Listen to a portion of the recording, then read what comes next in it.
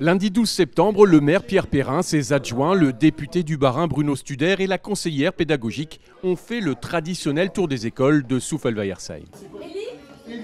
Le premier constat est réjouissant. Après deux rentrées sans restrictions sanitaires, l'éducation nationale est passée au niveau socle du protocole sanitaire.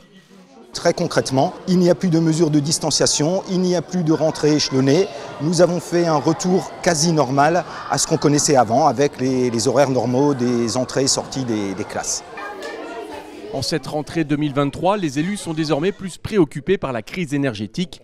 Malgré la hausse du coût, le grand projet de construction d'un restaurant scolaire et de la rénovation de l'école RAP reste au programme. Le projet, nous en avons besoin, une cantine pour nos enfants et les collégiens, c'est important et c'est essentiel pour la commune. Le projet va augmenter de près d'un million, voire un million trois. Sur un projet initial à 3 millions 3, on passe à plus de 4 millions, 4 millions 5. Qui dit rentrée dit aussi plan de sobriété énergétique, un sujet qui concerne directement les écoles et tous les autres bâtiments publics.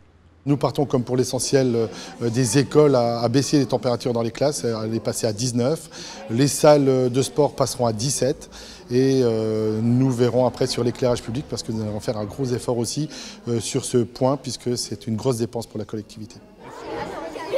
Autre fait marquant de cette visite, une actualité plus légère, la distribution de la carte à tout voir à tous les CM2. Réservée aux 11-25 ans, l'Eurométropole de Strasbourg a décidé de l'étendre aux CM2. C'est une carte qui permet de bénéficier de réductions sur l'offre culturelle, c'est-à-dire sur le théâtre, le cinéma. On a aussi les spectacles, les festivals, l'opéra, l'orchestre philharmonique. Et c'est vrai que l'Eurométropole a souhaité pouvoir en faire bénéficier toutes les classes de CM2 pour qu'ils puissent aussi connaître tous ces établissements culturels vers lesquels on ne franchit pas forcément la porte tout de suite. À Souffelweiersheim, le budget total pour les 3-11 ans s'élève à 1 861 000 euros. Souffel compte cette année 730 élèves.